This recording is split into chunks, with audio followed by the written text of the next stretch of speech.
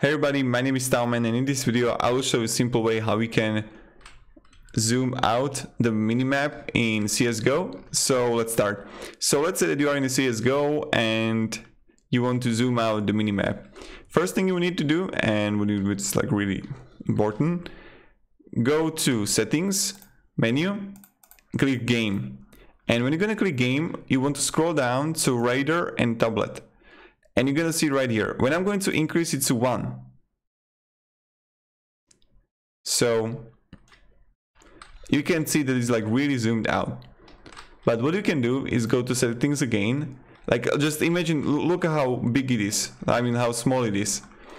How zoomed in it is. So you want to go to settings and radar map zoom increase to 0.40 and now you get the biggest as you can so this is how we do it. It's pretty simple, pretty easy. Thank you very much everybody for watching. If you have any questions guys, ask me down in the comments. I'll be really happy to help you and yeah, have a great day and goodbye.